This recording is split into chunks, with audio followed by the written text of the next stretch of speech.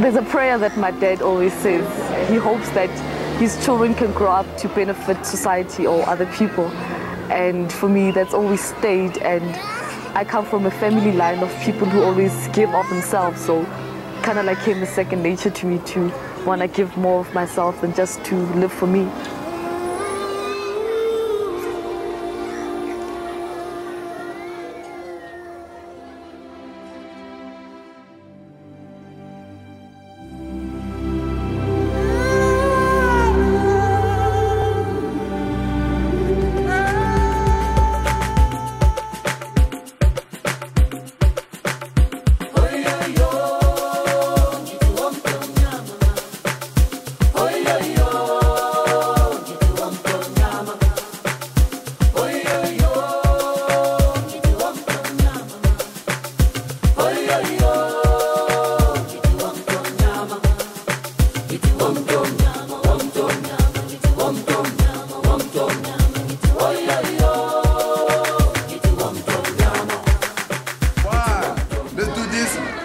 One, two, three, four.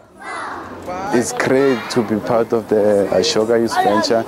I know I'm not alone doing this. I'm not alone fighting the struggle. Cause I try to fly, I wind so high, direction sky. In South Africa, I have a lot of challenges, I have a lot of opportunities.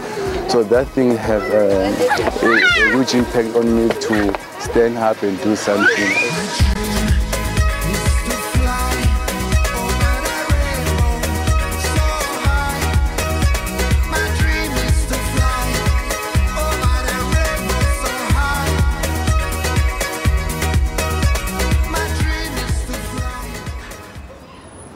The name of our project is Natural Born Leaders.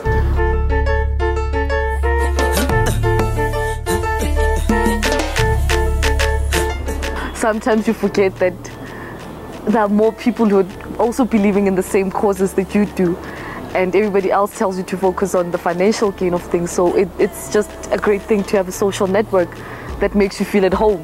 Listen, learn, and. The rhythms brought forth to you. They just need to trust that the world is not a bad place. There's still kindness, there's still hope, and there's still a chance for you to make a difference.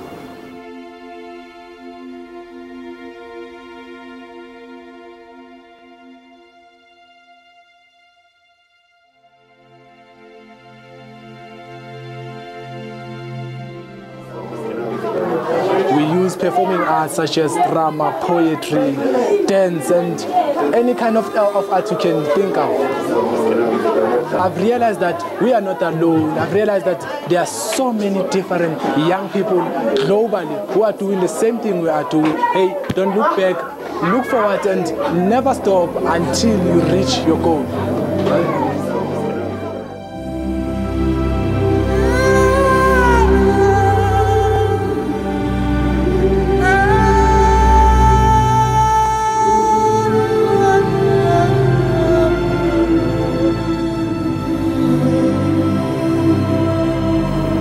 I think what humans are always seeking for is hope. So if we can give each generation hope and there's still a chance for you to make a difference.